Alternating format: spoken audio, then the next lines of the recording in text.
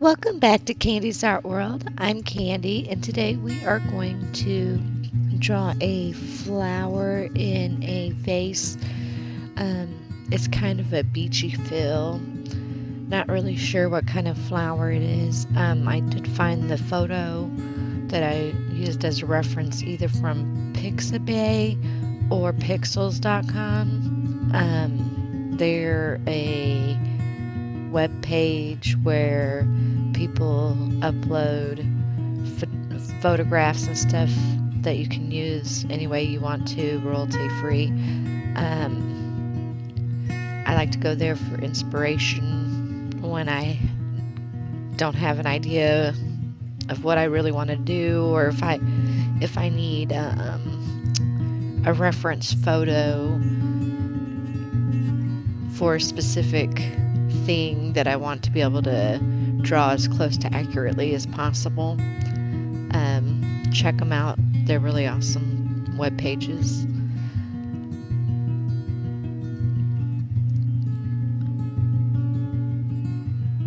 The photo was a little different. I modified it to what I wanted in the photo. Well, in the in the art piece here. Um, and I used my Derwent Inktense blocks mostly and I also used my Inktense pencils also from Derwent.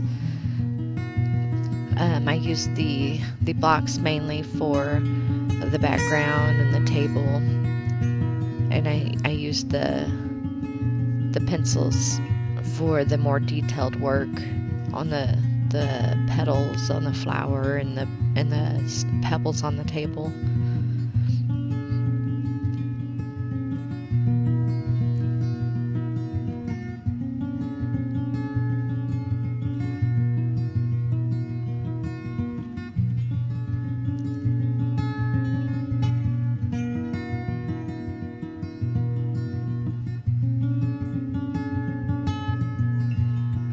Um, the paper I'm using is Canson um, XL. It's in a blue. It has a blue cover on the on the uh, tablet, um, but I cut it down to fit whatever size I'm wanting to work on.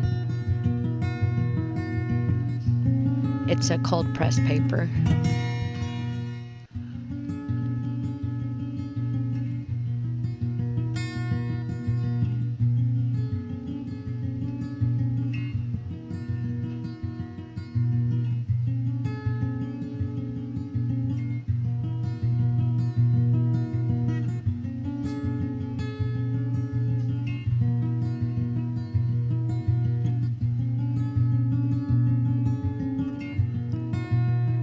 I apologize.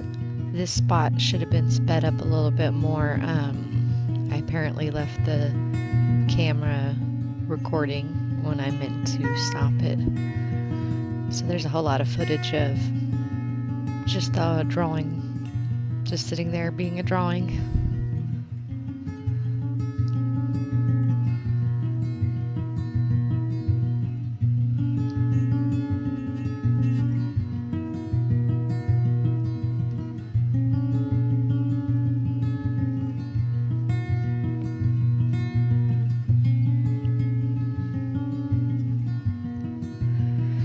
Right now I'm putting masking fluid on the vase and the flower petals and the little pebbles to keep it at the moment the color of the paper so that way I can work around the the object without having to go around the lines.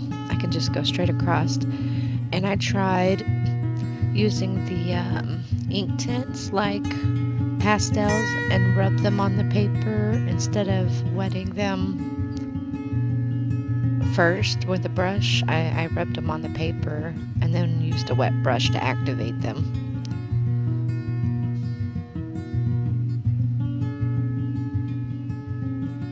Just to see how that worked out. I think I kind of prefer to use a wet brush on the the block and then put it on the paper instead of the other way around.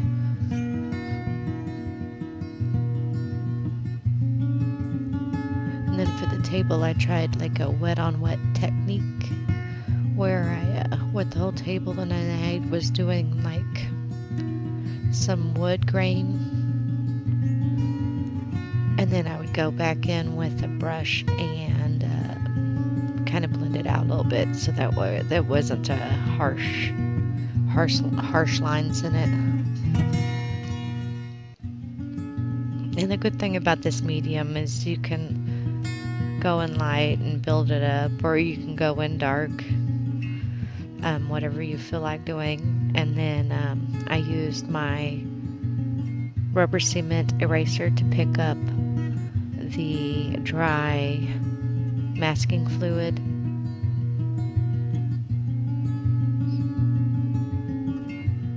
And then I placed um, fresh masking fluid on the spots that I wanted to keep white for the highlights.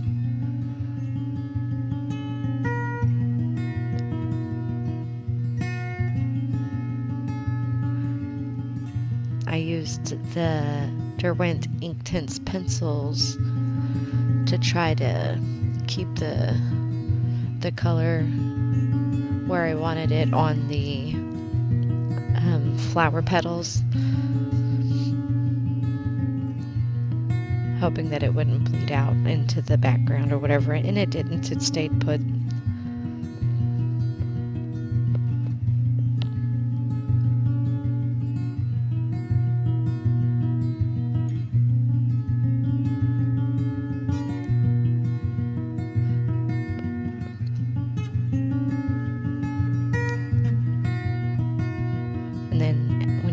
Water to it, it comes to life becomes like 10 times more brilliant than when it was a pencil. My suggestion is to go with light layers and then add water to see where you're at instead of going in really heavy handed with it because you can always layer more layers on it and can't take them back really. But you can go over with other colors. So, I mean, don't be scared. Play around with it, have fun.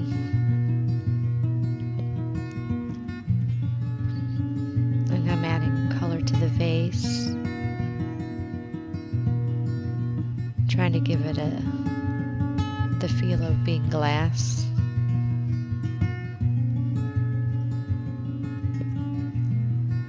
And the little stones on the table. Just trying to give them some detail.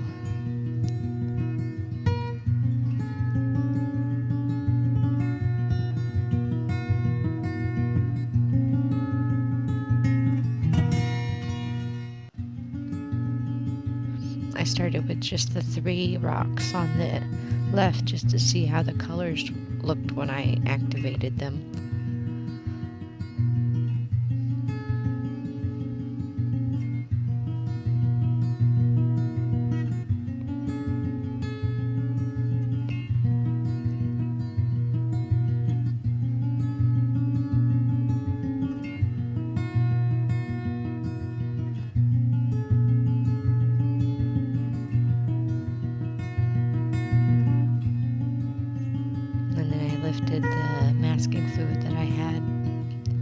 Put on the pebbles to leave them with a little shine spots.